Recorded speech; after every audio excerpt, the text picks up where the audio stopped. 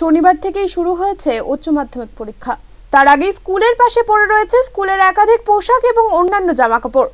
এই ঘটনায় রীতিমতো চাঞ্চল্যের সৃষ্টি হয়েছে এলাকায়। ঘটনাটি ঘটেছে নদিয়া জেলার শান্তিপুরে। খবর পেয়ে ঘটনাস্থলে উপস্থিত হয় শান্তিপুর থানার পুলিশ। জানা যায়, শান্তিপুরের হিন্দু হাই স্কুলের পাশে শান্তিপুর রাধারানী স্কুলের বেশ কয়েকটি পোশাক পরে থাকতে দেখে এলাকাবাসী।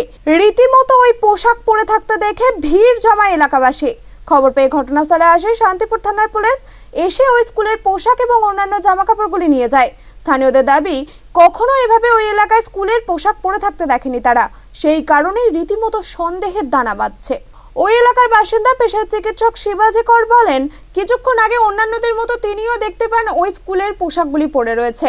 এরপরে শান্তিপুর থানায় খবর দেওয়া হয়, তবে কোন উদ্দেশ্যে কারা এই স্কুলের ছাত্রীদের পোশাক ফেলে গিয়েছে তা কিছুই বুঝে উঠতে পারছেন না তারা। তদন্ত শুরু করেছে শান্তিপুর থানার পুলিশ। নটা নাগাদ শুনতে পাই যে আমার বাড়ির পাশের গলিতে কিছু কাপড় পরে আছে। আমি দেখি অবশ্যই যেগুলো মেনলি মেয়েদের ড্রেস এবং রাধারানী স্কুলের ড্রেস সঙ্গে সঙ্গে ব্যাপারটা আমি থানাকে ইনফর্ম করি। থানার ডিউটি অফিসার এসছেন, দেখছেন।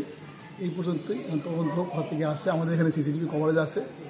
দেখে যদি কাউকে সন্দেহনে পাওয়া যায় সেটা প্রতিনিধি বলা যাবে।